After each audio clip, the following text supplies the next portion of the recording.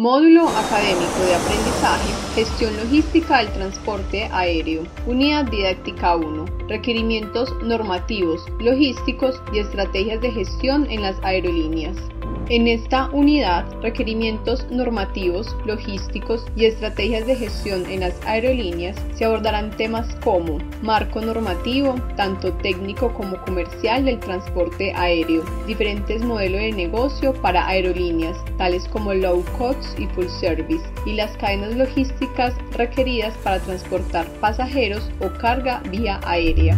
Estos saberes serán fundamentales para el desarrollo de las competencias que le permitan al profesional pascualino relacionar los requerimientos normativos y logísticos que tienen las aerolíneas de acuerdo con su modelo de negocio, las estrategias que implementan para su gestión y aplicarlo en el ámbito de las operaciones de transporte aéreo de pasajeros y carga.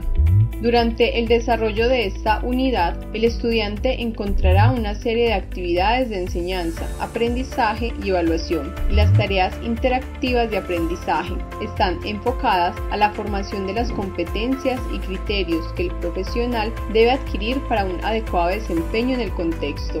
La unidad 1 está compuesta por cuatro actividades de enseñanza, aprendizaje y evaluación.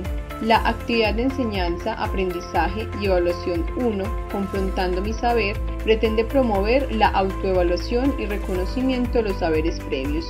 La actividad de enseñanza, aprendizaje y evaluación 2, identificando los requerimientos normativos y los tipos de operación y del transporte aéreo.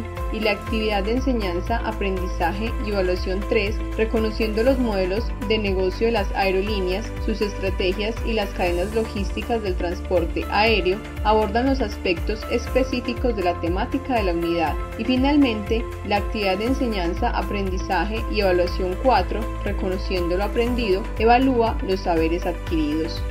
Estas actividades serán claves para el profesional pascualino. Pueda identificar y gestionar actividades, actores y roles dentro de los procesos de la operación de transporte por vía aérea y pueda a su vez extrapolar sus conocimientos a una mejor organización y coordinación de las actividades que realiza en su vida cotidiana.